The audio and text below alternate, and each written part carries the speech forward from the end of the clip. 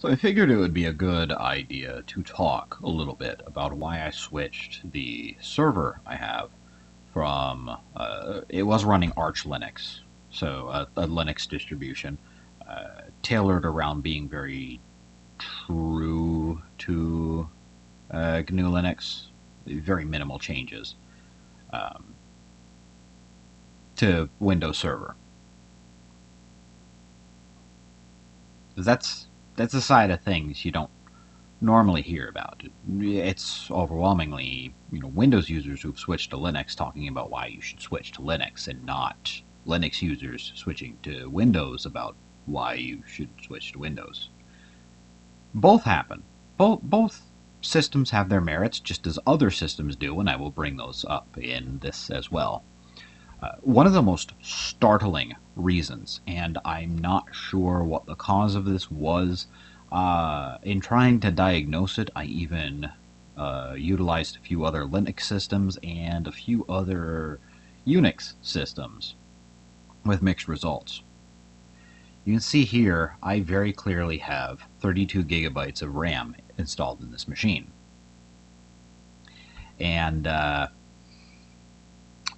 under Linux, whether it was Arch or something else, I've tried this with Ubuntu, with SUSE, with uh, Fedora, plenty of others. It wound up being uh, nine total systems I tried this on, uh, with varying you know kernel versions and everything else.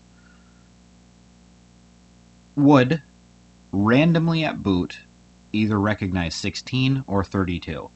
It seemed about four out of five times it would recognize 16 gigabytes and not the full 32 that are installed.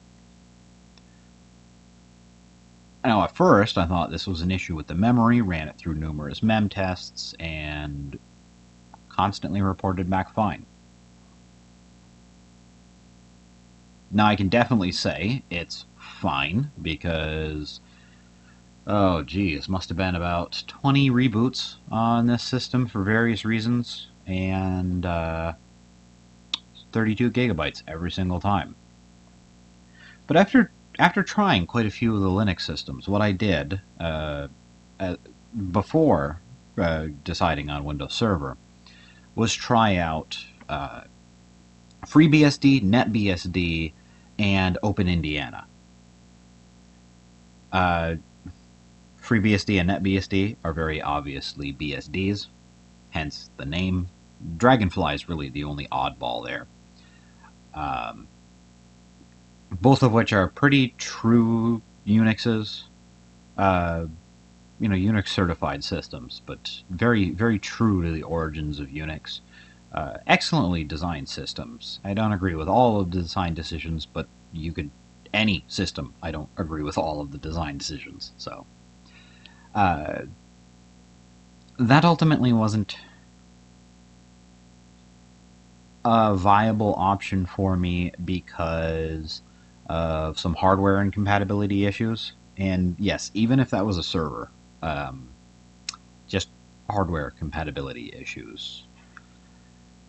So, I mean, we're talking like one of the SATA controllers wasn't recognized, which is a pretty rough problem uh, I, I need both of them being recognized.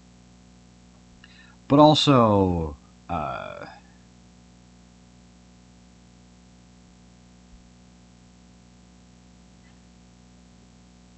just just other things, just just other hardware incompatibility issues.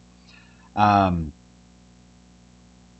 getting an Ada compiler set up on the BSD is a little bit trickier, but it uh, it's not that bad. Uh, you have to bootstrap the compiler, but honestly, the ports collections for uh, ports or package source uh, collections are both excellent and do a fine job at bootstrapping. It's just a little bit of a long process, but it's not it's not bad by any means it's a lot better than trying to uh, but trying to bootstrap it manually. If you've ever installed uh, GNAT on a Gentoo system, you've seen what that's like. It's very straightforward. It just takes a while. Um, then Open Indiana. That is essentially derived from Open Solaris. Uh, you're seeing Solaris and Open Indiana diverge slightly. Um, I decided Open Indiana would be better just because GNAT is based on GCC and Open Indiana has been modified to work more around GCC rather than the old Sun compilers. Very, very minor thing at this point.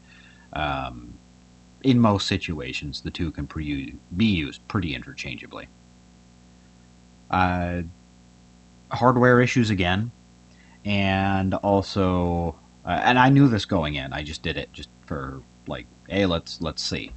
Uh, no, I had a compiler. Uh, you can you can do it if you build it manually, but it that kind of stuff is a nightmare to do. Um,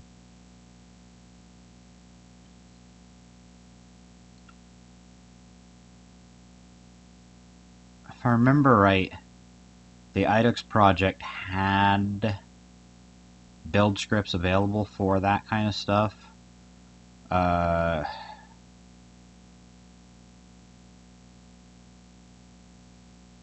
That's uh, we're we're talking a long time ago though, because I had contributed to that project years ago, and before I realized it was doomed to failure. But uh, I swear I remember having having build scripts. I just don't remember where uh, where they were.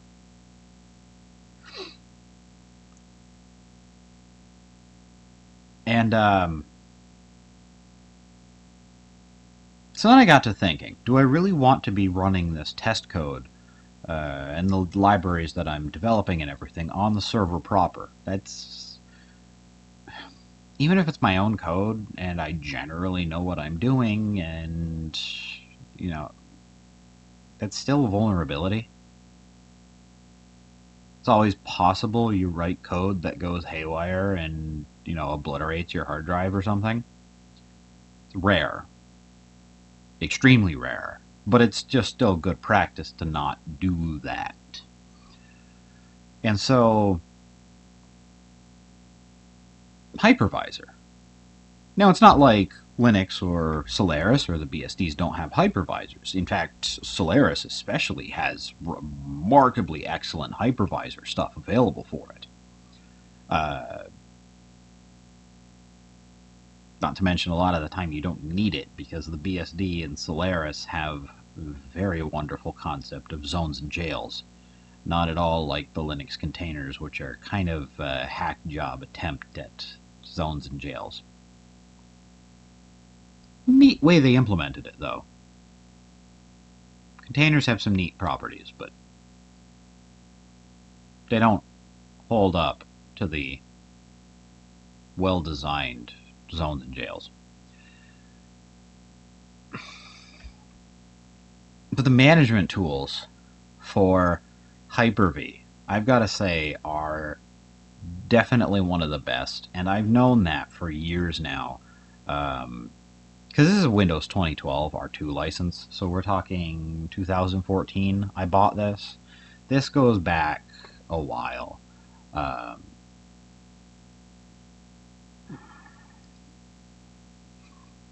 I can't show it on this, on like my my actual workstation I'm recording this on because I don't have uh,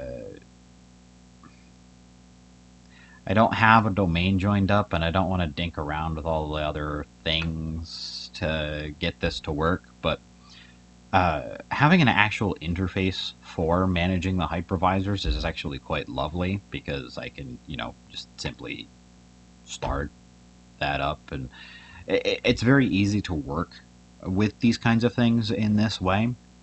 Uh, good command line tools make it still highly possible, but it's very efficient to do this.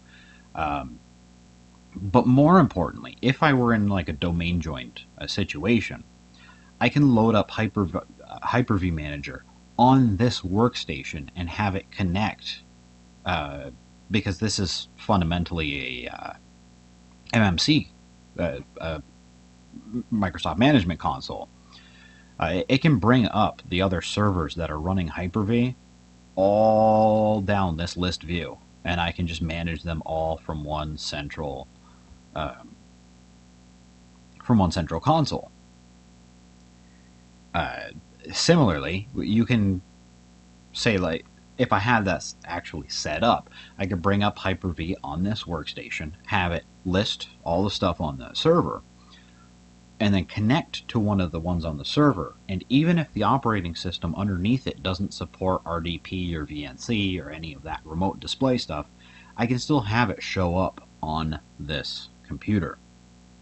Eventually, I will get to that point. I'm still sort of uh, uh, slowly configuring things because I've got other stuff also going on. Um, so, having the ability to do that is considerably, considerably easier uh, for managing stuff than any solution I've seen with, uh, say, Xen for Linux or the hyper, various hypervisors that exist for other systems. That being said, they're starting to play catch up with the centralized management console. Um, as I understand it, GNOME Boxes is implementing a lot of this stuff. So that's good to see. But it's not just limited to Hyper-V by any means. Uh, now I use this for my test lab. I've only got two VMs set back up, but uh, eventually this will be a pretty long list that I'll actually need to scroll through regularly because uh, this is basically a test lab for the code I developed to make sure that it runs on a variety of platforms and interacts with the base systems nicely. But this is not all that I use. One other incredibly important thing, and I've I've dinked around with this for a, with uh, nftables and uh, what's the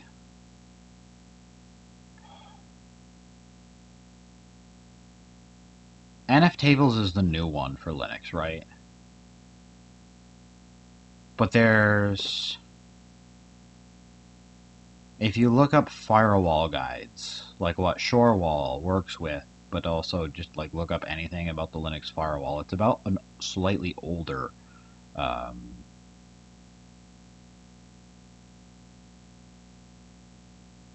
firewall slash routing subsystem that exists within Linux. Uh, it, I'm not a Linux expert by any means. I, am quite comfortable administrating one, but I'm not too familiar with the internals and everything. But uh, oh, I'll, I'll sh show this first. It's very closely related. Um, actually, no, go back.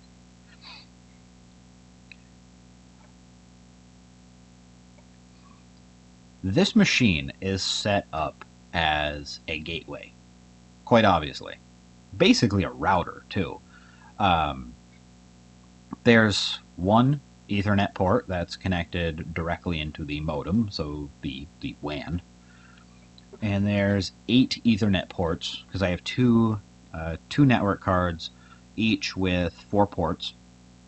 Uh, see, six of these are being used, the other two are not currently.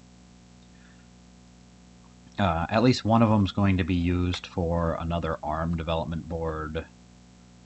Uh, probably just buy a Raspberry Pi. Use that. Because basically just extending the test lab just to also work with ARM hardware. Uh, and then another one, probably the MIPS. Well, we'll see. trying to secure something for like a PowerPC or something, but uh, that one's looking difficult, so it'll probably be a MIPS. Um, but then all of these are bridged together as the single LAN so that they all share the same uh, the same IP address and work just like a router would. But A router's done with a switch, not eight individual ports. So obviously, in that kind of situation, uh, being able to manage the firewall is incredibly important. And I, I just, I had such a hard time managing the firewall under Linux, even if it was using so-called high-level tools like Shorewall, which are supposed to make it really easy. Just the firewall manager in Windows is so much more pleasant to do in my opinion. Maybe maybe it's just how we work with things, but um, I find it a lot easier to do. So, for example, one thing you really don't want to do is have remote desktop stuff, which I obviously have uh, enabled, access to the greater public.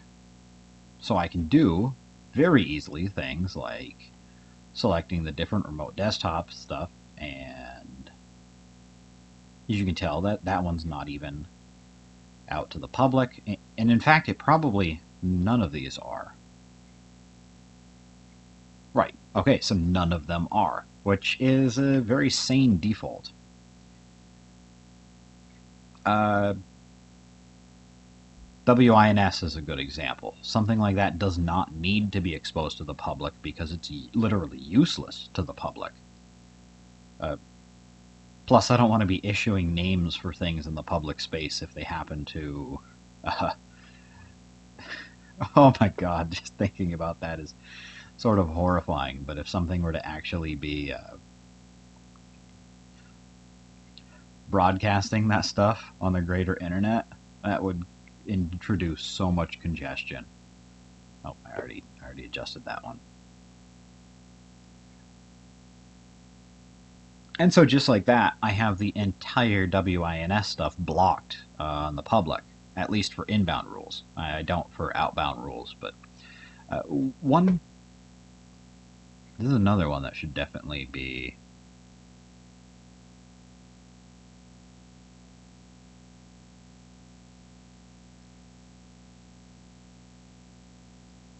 Yeah, that's fine. Um, what was I just saying?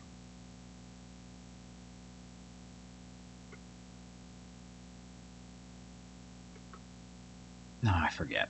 Well, anyways, uh, something that I really like about the approach they take here is that it's possible to define stuff, say at the protocol level, like I've done this for the stuff that BitChute mining uses, where, uh, where is it?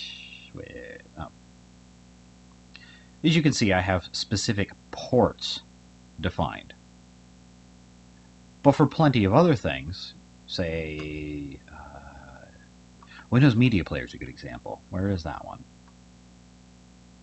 Now I have these, I have these completely off, but you can see that if we go here, there isn't actually anything labeled for the ports. Rather, it's the specific program. This makes it very easy to do fine-grained firewalls, in my opinion.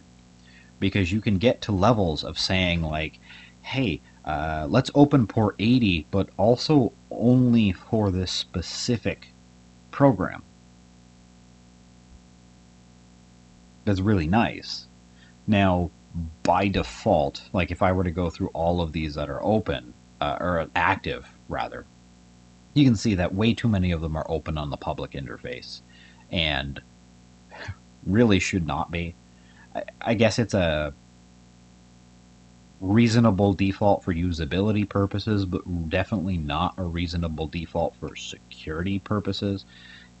And unfortunately, you gotta weigh the two. But I do really like the option of um, more program focused than packet focused uh, firewall control, and um, I just find this so much easier to work with. So much so. Another really nice thing, of course, and I don't really mind showing this off because it's a public network, anyways. Or uh, a home network, anyways. basically just got a home business that that I deal with. Looking at the uh, DHCP leases is basically just as easy as it would be to look on a home router. I quite I quite like this. Getting the DHCP leases out of something like DNS DNSMasq was not terrible, but not so easy either.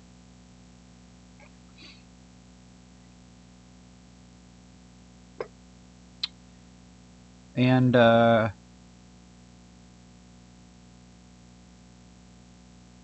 to be fair, to be fair, Samba has file storage stuff set up really well.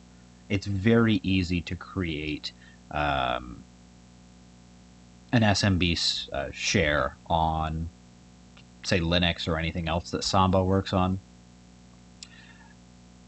I don't find that any easier to do on Windows Server, which is sort of weird to think about because you think that would be really, really easy to do on Windows Server, but meh. Meh.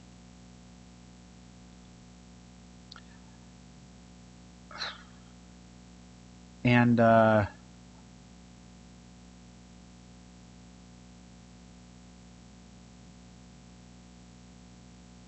Yeah, so I guess that's basically everything without getting into anything that would expose very serious specific details that could be used for hacking purposes or anything like that.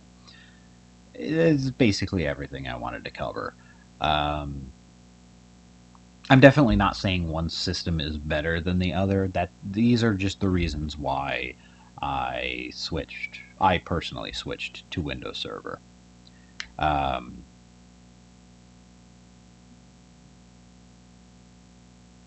I can honestly say that if somebody were to just be like, hey, I just need a simple file server, I don't need it to do much else.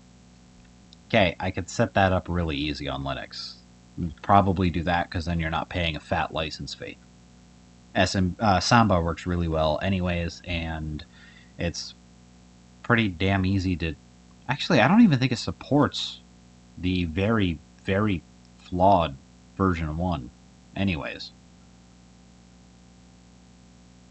So, yeah, you don't I, you don't really need to fuck around with that too much. Um, it's also really easy to get Samba set up to do NMB and WINS stuff as well.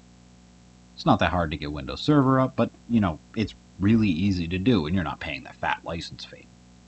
I can also definitely say that if somebody were to need a just like a web server, it's very easy, and I would recommend uh, something like Lightyear Nginx under, for that one, probably NetBSD, just because it handles some load stuff better than Linux does. But uh, in either case, you've got an excellent system that's very easy to set up, and you're not paying the fat licensing fee that Windows Server involves. But for my needs, Windows Server wound up being the better option. I'm actually quite happy with this. I needed to do almost no maintenance in well, I changed this over about a month ago.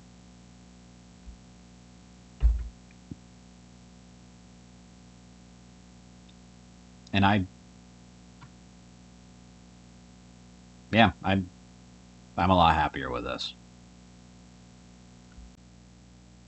There's one thing I thought of just as I stopped the recording. Um, if you were in a situation like this, and I've already removed the Hyper-V switch um, before I even did this, uh, I just I, I, was going to mention it, and I I totally forgot over the course of that. Uh, if you are in a situation like this where you are running Hyper-V on the same machine that is a gateway, so like if we go back to this, you can see that normally for you to get the virtual machines internet access. You would set up the virtual switch on the public interface, the one that can actually reach the internet. Don't ever do that in this situation because you will lose all internet connectivity.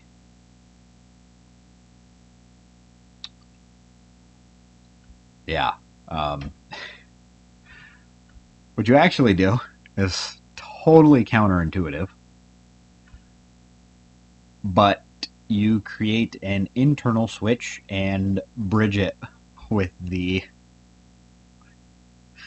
with the stuff that shouldn't actually be reaching the internet because it's your intranet instead. So uh, walk you through this because it confused the hell out of me and I could find literally no resources available for explaining how to do this. So this is going to help somebody.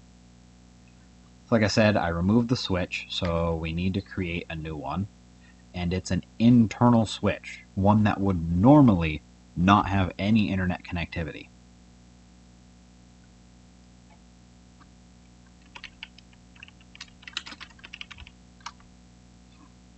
And you leave it internal. You do not connect it to any external network. What you'd normally do, you don't do that.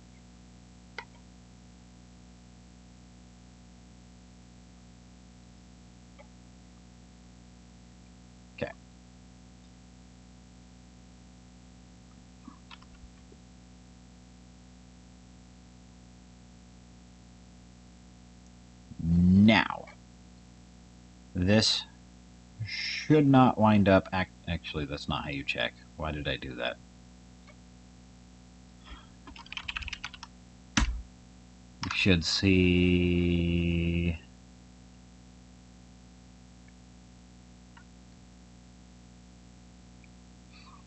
Yeah, so the FE80 and 169.254.101 Actually, I can't remember what that part is, but these are both uh, local only, like auto configuration addresses. These are not routable. Uh, so, what you then do is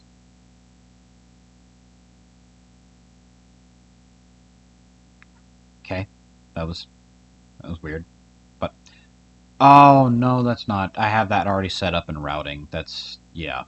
It, it defaults to it being public until it can uh, try to ident uh, until it's done trying to identify it. It's just how I have it set up. Well, what you do is actually add it to the bridge. And then as odd as that whole thing is, uh, let's just turn that off. Yeah, just forcibly turn it off. I'll be able to show you in here. Oh no, I won't because I need to I need to add it. uh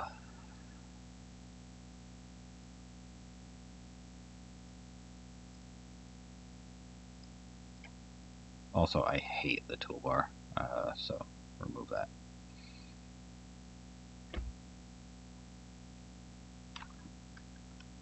Uh, ba, ba, ba,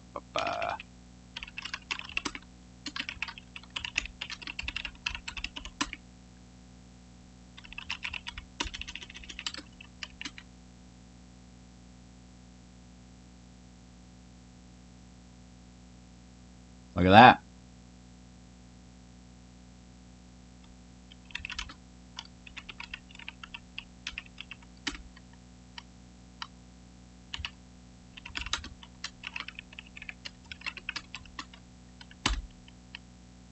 Okay, that one didn't work, which is actually surprising, which means... Were you not told by the DHCP server what the DNS server was? Because everything else is.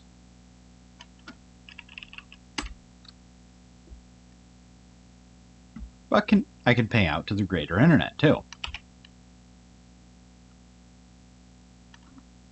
Totally weird, but yeah, that's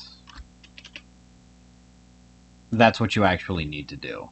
Uh, there is one thing I think you've got to make sure is done. Uh, I did this by default anyway. Oh. Okay, I guess I guess you don't actually need to do that. I was thinking that you need to tell it that itself is the gateway, but clearly that wasn't there. I must have forgot to type. Oh no, because I tried to use the one uh, loopback address before, and it just removed it. But yeah, so I guess you don't even need that. I guess just adding it to that bridge alone is enough for it to still connect to the internet. So yeah, if you've got Hyper-V on the same machine that's the gateway, that's how you actually get it to connect. Because, like I said, if you connect it to the WAN, the whole thing just you lose all internet.